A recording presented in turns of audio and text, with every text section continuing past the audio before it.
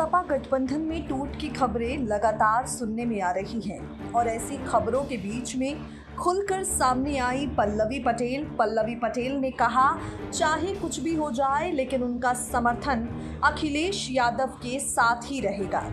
पल्लवी पटेल के इस ऐलान के बाद सबकी नज़रें ओपी राजभर पर जाकर टिक गई।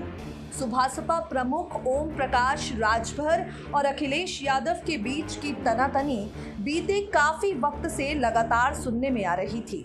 अब ऐसी तमाम खबरों के बीच में ओम प्रकाश, राजभर ने आखिरकार अपना रुख साफ़ कर दिया है। जी हाँ ओपी राजभर ने साफ़ साफ़ बता दिया है कि यूपी को लेकर उनकी रणनीति क्या है।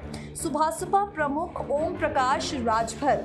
बीते दिनों खुलकर अखिलेश यादव के घर मुलायम सिंह यादव से मुलाकात करने के लिए पहुँचे। दरअसल हाल ही में मुलायम सिंह यादव की पत्नी साधना यादव का निधन हुआ। राजभर ने सोशल मीडिया पर ट्वीट करते हुए नेताजी के साथ अपनी मुलाकात की, तस्वीर शेयर की।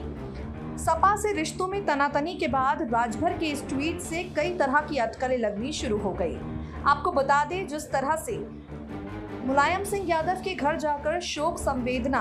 ओम प्रकाश राजभर ने व्यक्त की, उससे साफ़ साफ़ मालूम पड़ता है कि वो कई मुद्दों पर अखिलेश यादव से असंतुष्ट तो हो सकते हैं, लेकिन सपा से अलग होकर राजनीति पर विचार कतई नहीं कर रहे हैं। आपको बता दें, राष्ट्रपति चुनाव में ओम प्रकाश राजभर एनडीए उम्मीदवार का समर्थन कर रहे हैं, जिसके बाद सपा और सुभाषपा के गठबंधन पर टूट का खतरा मंडरा रहा है और वहाँ दूसरी तरफ़ ओम प्रकाश राजभर ने साफ़ साफ़ ये भी कह दिया है कि नेताजी के परिवार के साथ उनके जो संबंध हैं, वो हमेशा मधुर रहेंगे।